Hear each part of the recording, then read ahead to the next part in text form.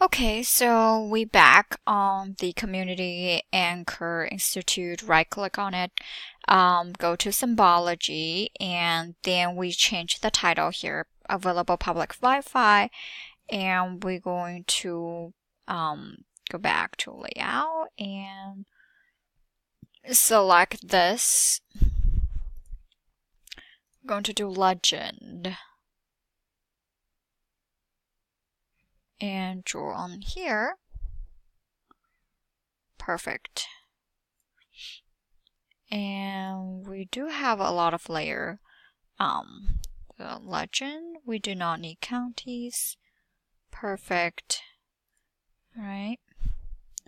And it's too big and I'm going to resize it. And now it's too small. Okay, um, available public Wi-Fi. I don't need libraries. Alright, um, but this one I'm going to fix it first. Fix it, fix it. Alright.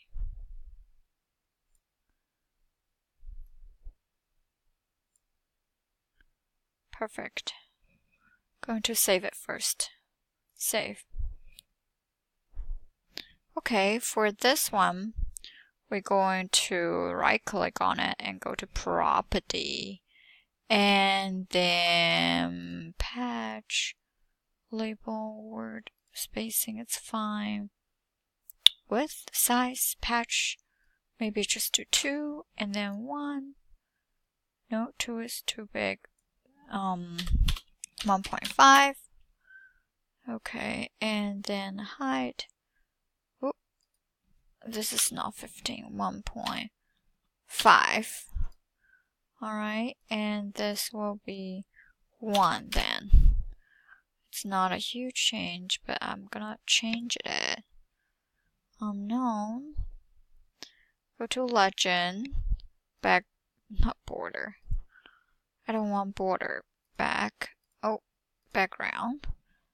Um, property and outline width 0 and outline color. Um, just do the same thing. Yes. And let's do 30% click OK. Click apply. Perfect. Alright okay and then Right click on it, go to property. I don't need the group layer name, layer name. Nope. Alright, so now, and we have to change patch. Let's do 16 and then 10. Perfect. Alright, we have to change the font text symbol, appearance, and Arial. And we can do bold, bold, and click apply. Size, let's reduce the size to 10, click apply. Okay, and then what about the legend fonts? Position, rotation, it's fine. Halo. I don't need shadow. Call out, and we do not have any call out. Paragraph format. Okay. Um, how do I do the little font? Those not bold. Font size, regular, click apply. Um, title. Where is underline? I don't want underline. I don't want underline. Outline width. I don't. Size. Size. Let's change it into 9. Click apply. I don't want catalog. Close. Alright, headings. Oh, I do want headings. How do I change the headings symbol? Appearance, this is 9. Okay, let's do this. Convert to graphics. And then ungroup them. Perfect. And then this one, double click on it. Mm. I cannot double click on it. How do I select it and click Control B? It's not working. Text symbol, appearance. Let's do 10 and then bold. Bold.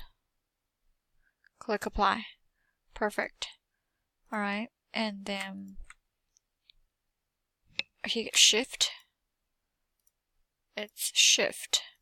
Select, select, select. Right click on it and group them together.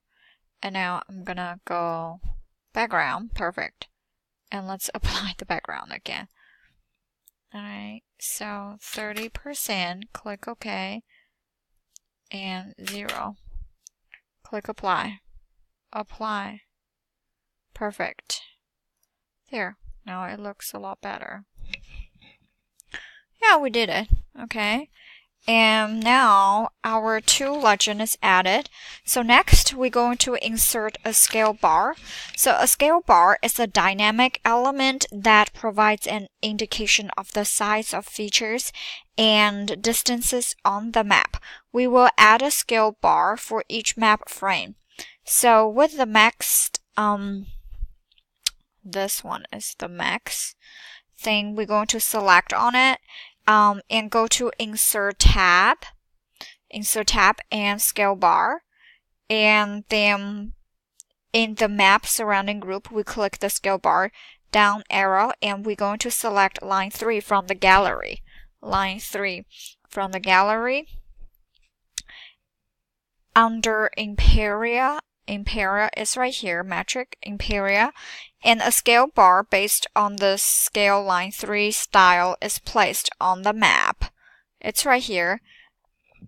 And then I'm going to resize it until it's a lot smaller. Perfect. That's what I want. And then I'm going to place it here. All right. Okay. Perfect. Alright, and then we're going to modify the scale bar to suit the map frame. With the scale bar select to go to the Format tab, we're going to select on it and then go to Format. And we will, in the text symbol group change, text symbol, text symbol, map frame, element, um, this is the scale bar. Go to Property. Okay, scale bar text symbol appearance and we will change 10 to 8. Click apply. Perfect, it's smaller. And on the design bar, in the um, division group, we're going to change division to 1. Scale bar uh, on the design tab. Design tab, alright.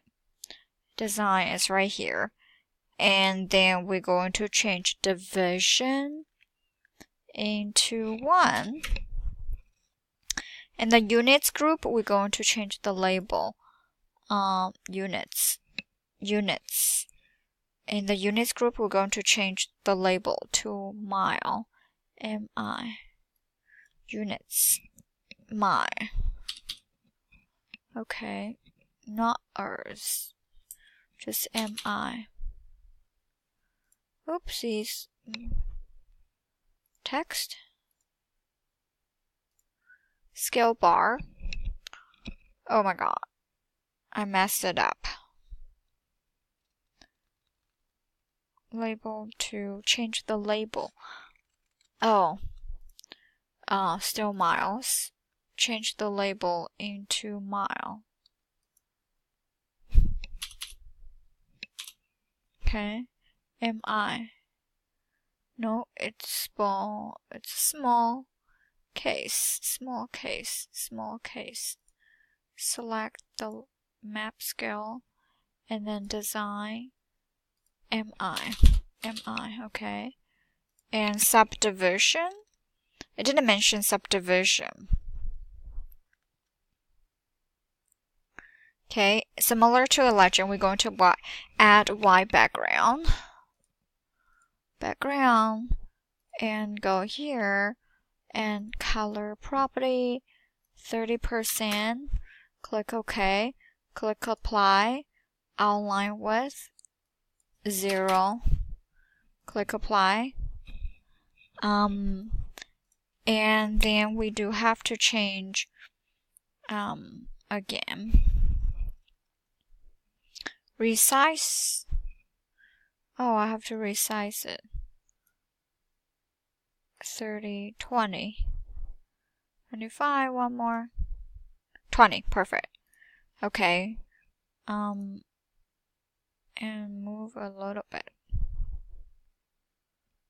20 miles. Okay, so similar to the legend, we created a wide um, background with 30 um, percent transparency. We resized the scale bar so that it displayed to 20 miles.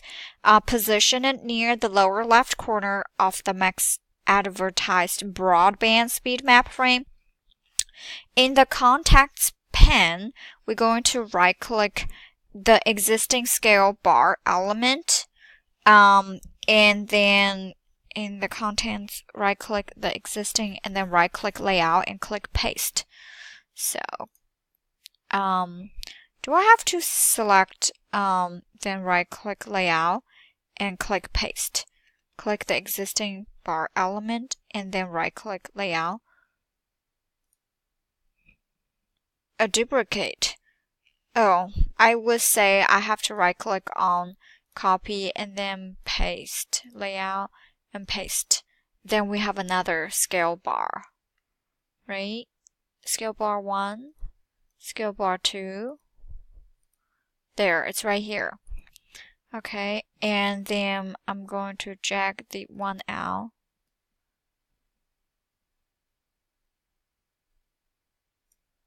Oopsies. Okay. This one is putting here. Okay, a duplicate of the scale bar is added to the page. It sits on top of the existing scale bar modified to match the map scale of the other map frame. We go into the duplicate scale bar to the other map frame and position near the lower left corner. On the Design tab in the map frame group, select Community Anchor Institute map frame from the drop-down list and scale bar changes to match uh, the scale bar frame.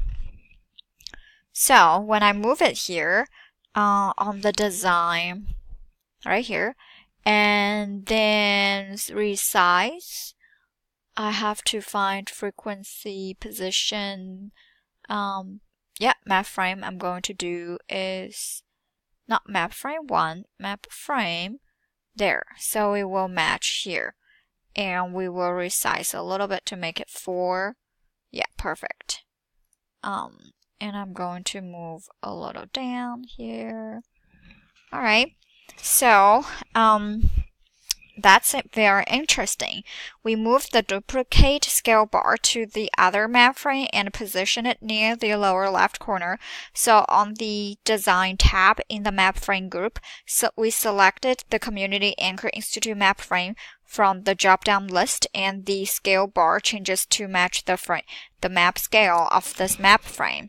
And we have to resize this to uh, display to the uh, it for four miles. And then we're going to insert a north arrow. Um, I, I need to see if I can delete those.